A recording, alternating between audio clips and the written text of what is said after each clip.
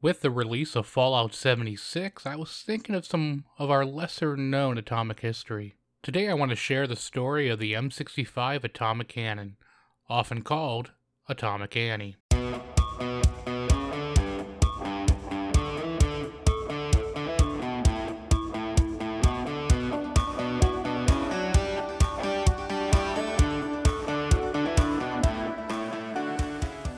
Today I'm at the Rock Island Arsenal, which compromises 946 acres and is located between the cities of Davenport, Iowa and Rock Island, Illinois. This M65 atomic cannon is the centerpiece in Rock Island Arsenal's Memorial Park, only one of many interesting sights you may see here.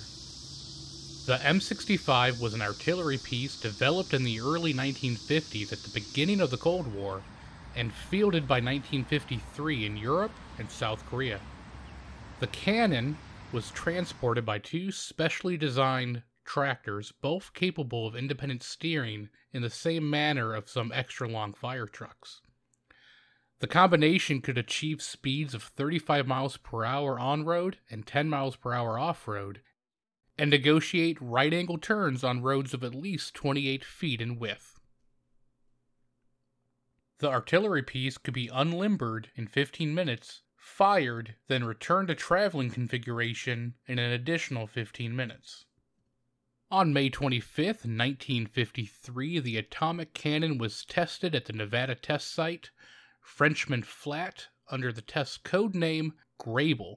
The test resulted in the successful detonation of a 15 kiloton W 9 warhead.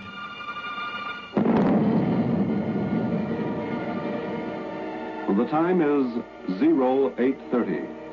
The date, 25 May 1953. Four, three,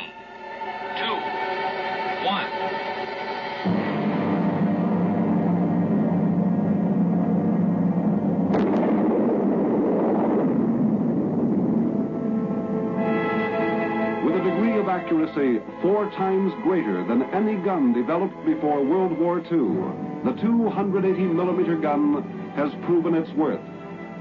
Capable of delivering the atomic shell some 13 miles under any weather condition, day or night, the big gun provides more accurate and damaging support to ground troops than any other gun in the recorded history of warfare.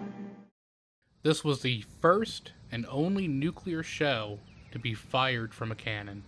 After the successful test, at least 20 of the cannons were manufactured at the cost of $800,000 each. They are deployed overseas to Europe and Korea, frequently shifted around to avoid being detected and targeted by opposing forces. Due to the size of the apparatus, their limited range, and the development of rocket and missile based nuclear artillery, the M65 was effectively obsolete as soon as it was deployed. However, it remained in use until its retirement in 1963. Of the 20 M65s produced, at least seven currently still survive on display, with most no longer having their prime movers attached.